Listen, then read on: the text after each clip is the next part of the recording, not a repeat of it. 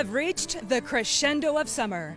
And here in Vancouver, it is no better expressed than the magical ambiance and beloved tradition of the Vancouver Folk Music Festival. With over 40 acts entertaining over 40,000 guests, this is one of the longest running Canadian cultural celebrations right here in Vancouver. So join us now as we imbibe in the chill atmosphere and high vibes of the Vancouver Folk Music Festival. I think that our festival, along with several other wonderful Western festivals that have been around for 40 years, this is our 42nd year, are important because of the sense of community we build and bring. Our festival is founded on values of respect and diversity, inclusion, environmental practices, and all of those things are as meaningful as the music, I think, and bring our volunteers back year after year and help us have a great festival been hearing about this festival for years from different American bands, and yeah, we're stoked to be here. It's great. It's just as great as everyone said. I think folk music and roots music have traditions, so there's a thread that pulls everybody together, and even as the music grows, there's a common thread in the vocabulary that everybody shares. So no matter what you do, no matter how you grow the tree, it still has the same roots.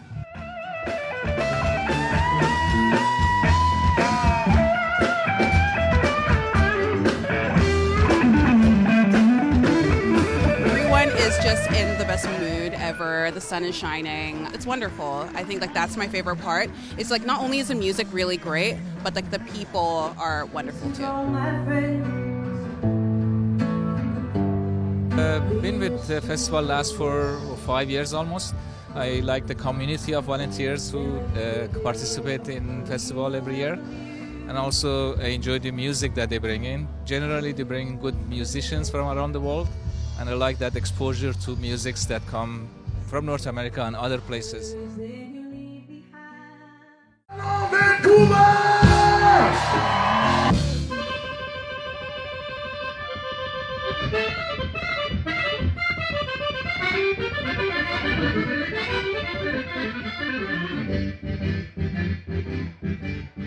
I've heard so many good things about Vancouver, and just to see how the response and how much they love the music. You know, I mean, it doesn't matter if it's blues, like country, zydeco. I mean, they just like embrace it, and that's just awesome.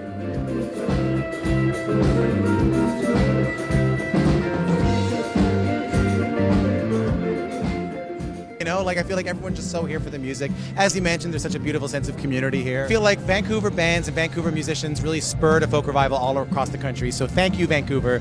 Thanks for doing that for us. Yay! Yay! Tom Power, everybody. Doot to loot do.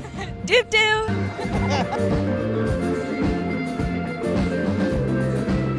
the sense of warm community and expressive freedom is so very palpable here.